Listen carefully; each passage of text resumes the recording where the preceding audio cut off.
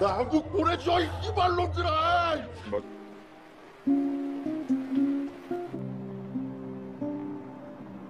Hai hai hai, kembali berjumpa lagi dengan kami Mopi TV Channel dimana khusus buat anda yang suka movie yang gitu-gituan Oke kali ini kita akan mereview film dari negeri ginseng lagi yang berjudul Obses Yang dibintangi oleh kawan, kawan lama gue yang bernama Son Se Hoon Lim Ji Yeon dan Cho Ye Jung Film ini mengambil latar belakang dari perang Vietnam pada tahun 1969 dulu di mana Song Se-hun yang sebagai kolonel Kim berhasil pulang membawa negaranya menang perang dan dianugerahi penghargaan. Dan di waktu bersamaan, kolonel Kim juga jatuh cinta pada istri anak buahnya dan mendapat beberapa ronde jatah darinya. Penasaran? Penasaran dong? Oke, langsung saja kita mulai inilah dia alur film Obses. Film ini diawali dengan sebuah pesta untuk merayakan kemenangan pada Perang Vietnam, di mana Kolonel Kim merupakan orang yang paling berjasa dalam membawa Korea menang dan perang dalam waktu itu. Lantas Kolonel Kim diberikan penghargaan oleh atasannya yang merupakan mertuanya sendiri, dan juga ucapan selamat dari rekan-rekannya dengan minum bir dari sepatunya yang dipakainya pada waktu perang. Kacau tuh. 원샷 원샷 원샷 입장을 하셨어. 빨리 마셔. Ketika Kolonel Kim sedang berada di kantornya, dia kedatangan orang baru yang merupakan calon anak buahnya. Orang ini bernama Kyung. 나. 제 우상이십니다, 대장님. Dan malamnya Kolonel Kim terlihat sedang makan malam bersama dengan istrinya. Lalu istri Kim mengatakan bahwa lingkaran yang di kalender merupakan tanggal suburnya. 오늘이 며칠이지? 내 달력에서 동그라미 뭐야? Maka dari itu setelah makan malam, istrinya pun langsung dihadiahi Kolonel Kim dengan terongnya sendiri diranjang dengan mantapnya demi mengejar target punya si buah hati.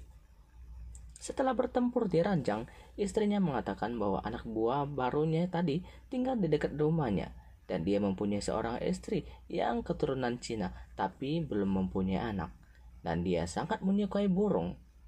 Mendengar cerita istrinya bahwa dia sangat menyukai burung, Kolonel Kim yang penasaran langsung menuju rumahnya dan bertemu dengan istrinya Kyung yang bernama Yongga.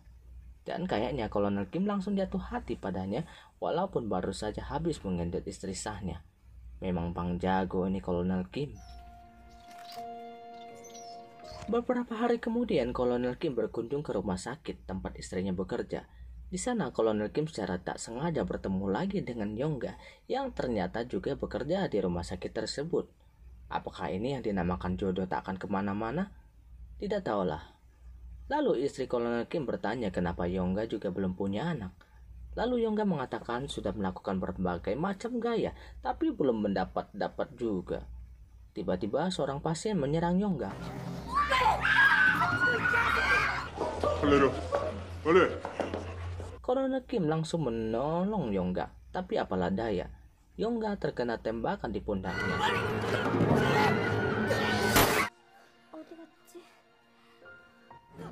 Di momen itu juga terlihat Kolonel Kim terpesona dengan kecantikan Yongga dan beberapa hari kemudian Kolonel Kim mengunjungi dan melihat kondisi Yongga sambil membawakan bunga untuknya.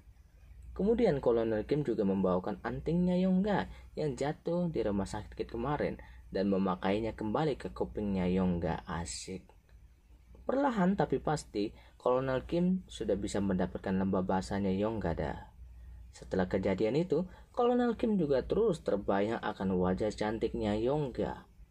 Gua aja terbayang coy. Pada suatu kesempatan, Kolonel Kim beserta istri piknik bareng dengan Kyung dan istrinya. Terjadilah canda tawa di antara mereka hingga kemudian Kyung dan istrinya Kolonel Kim pergi meninggalkan mereka berdua. Lalu Yongga mengatakan bahwa dia selalu ingat dan tersenyum di hari di mana Kolonel Kim menolongnya di rumah sakit, lalu menjenguk dan membawakan bunga untuknya. Kolonel Kim juga mengatakan bahwa dia juga memikirkan Yongga terus sampai tidak bisa bobok cantik.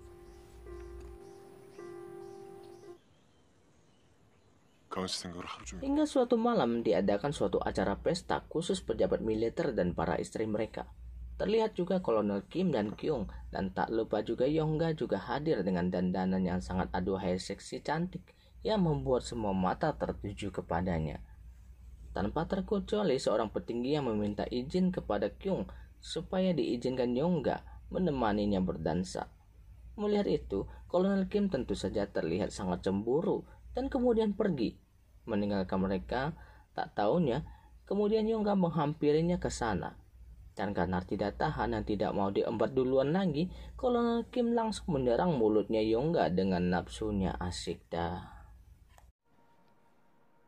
고마워요.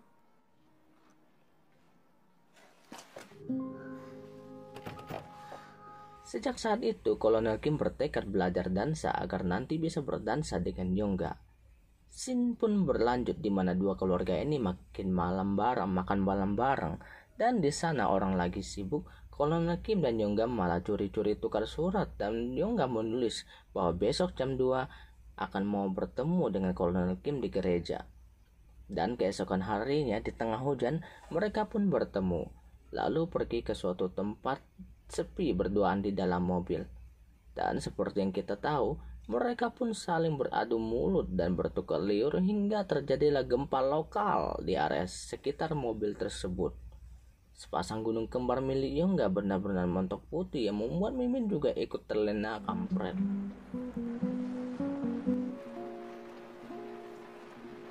Sejak merasakan lembah basahnya Yongga membuat Kolonel Kim jadi tidak fokus ke pekerjaannya, malah teringat terus dan ingin menambah jatah lagi. Hingga dia dengan liciknya menyusun rencana dengan menugaskan Kyung keluar kota agar dia bisa mencari kesempatan untuk menikmati lembah basahnya Yongga dikala suaminya tidak ada di rumah. Setelah kepergian Kyung, malamnya Kolonel Kim tanpa menunda-nunda langsung mencari Yongga. Awalnya Yongga tak membukakan pintu untuknya, Besoknya lagi, mungkin karena tidak tahan juga atau belum juga cukup jus terongnya, akhirnya Yongga membukakan pintu untuknya dan seperti yang kita ketahui lagi, diawali dengan serangan lidah, Kolonel Kim meraba gunung montoknya lalu turun ke lembah basahnya Yongga. Menyebabkan mereka berdua naik kuda lagi deranjang dengan lebih mantap lagi dibanding ronde-ronde pertama di dalam mobil tadi kampret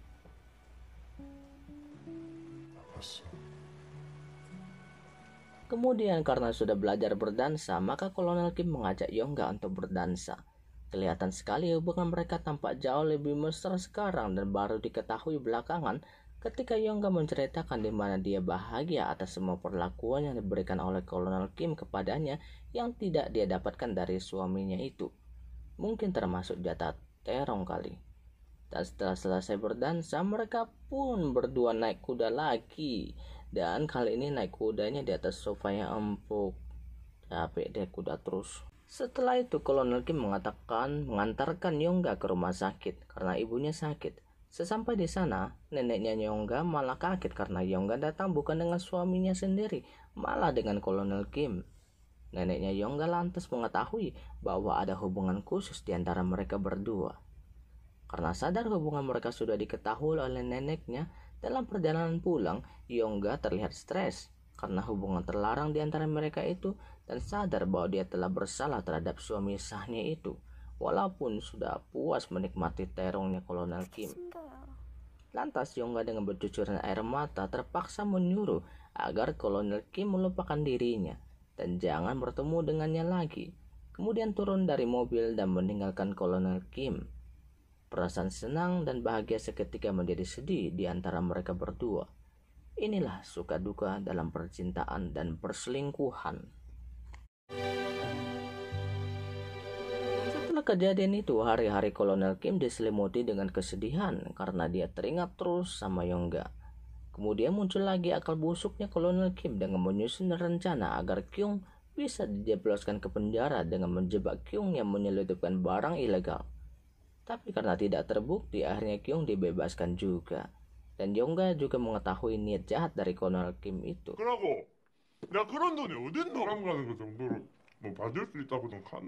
Ketika pulang ke rumah, Kolonel Kim mendapat kejutan dari istrinya dengan memberikan ucapan selamat karena telah naik pangkat dari kolonel menjadi legend. Acara kejutan itu juga dihadiri oleh beberapa istri dari pejabat militer lain termasuk Yongga. Semua bercanda gembira, tapi tidak dengan Legend Kim, karena dia raut wajahnya masih menyimpan kesedihan, walaupun telah naik pangkatnya dan istrinya hamil pula.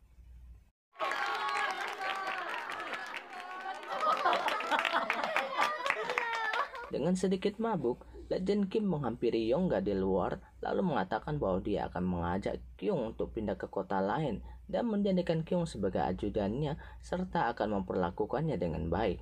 Tapi Yongga mengatakan bahwa dia tidak akan ikut tinggal ke sana karena sudah tidak mau lagi berhubungan dengan Legend Kim.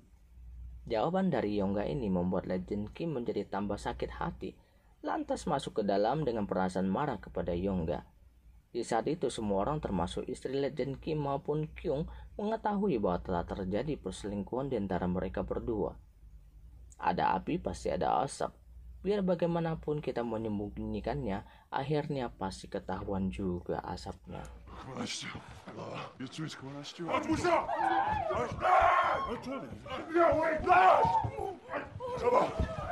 Karena perbuatannya itu, Legend Kim dipanggil atasannya yang merupakan mertuanya sendiri. Mertuanya mengatakan bahwa Legend Kim telah mempermalukan putrinya di depan banyak orang dan menghukum Legend Kim untuk kembali bertugas ke Vietnam demi nama baik dan reputasinya itu.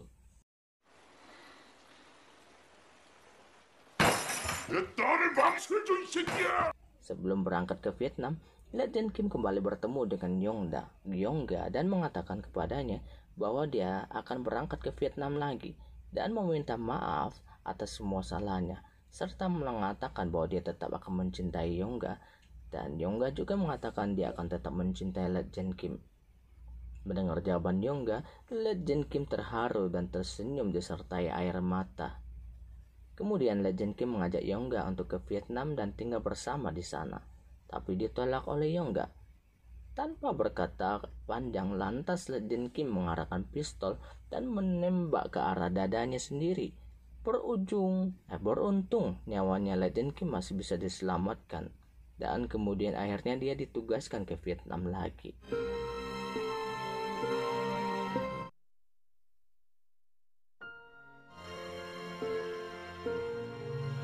Beberapa tahun setelah kejadian itu, Yongga mendapatkan surat dan foto Legend Kim bersama dirinya dari seorang prajurit yang pulang dari Korea eh, dari Vietnam. Prajurit itu mengatakan bahwa Legend Kim telah gugur dalam perang di sana. Mendengar berita itu, langsung pecahlah isak tangis dari Yongga yang merasa menyesal tidak bisa membalas semua cinta tulus dari Legend Kim. Dan film Obsessed pun berakhir. Sebuah kisah film yang sangat menarik di mana kisah film yang awalnya senang dan bahagia harus berakhir dengan sedih dan derita karena perselingkuhannya itu sendiri. Tapi yang jauh menarik tentu saja naik kuda beberapa ronde antara Yongga dan Legend Kim yang membuat ngantuk jadi hilang ketika menonton film ini.